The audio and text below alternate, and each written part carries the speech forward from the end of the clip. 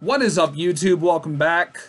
I'm making this video as an aftermath type of video because earlier I uploaded a video talking about porn bots attacking my channel and it's so far been affecting my channel pretty heavily.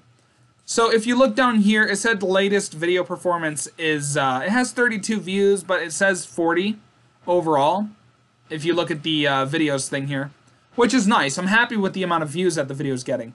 But the impressions click-through rate is 0.7%, and the average view duration is 49 seconds. And I feel like the impressions click-through rate and the average view duration is getting affected because of the bots themselves. Now, another reason I'm going to assume that is because on my YouTube studio here, here's one, the video from uh, the day before, talking about thanks for the support, I genuinely appreciate it, which is the video that I made. And the views are 13, which is fine. My goal is at least 10 views or higher per video. But it says for the average view duration and watch time, the average view duration is 50 seconds, which is pretty much similar to this one right here.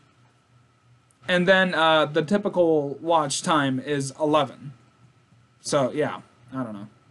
And if we go to my video analytics, I don't know. I just I just completely had a brain fart. But if I'm gonna look at the next one here, which is a My Little Pony R34 game I played recently, and this one didn't get much attention from porn bots, but there was one comment from a porn bot, and uh, this video wasn't affected too much. It has 11 views, but it has a one minute and 52 second view duration, which is decent, and uh, 21 uh, total minutes watch time, with the typical being 16 through 71.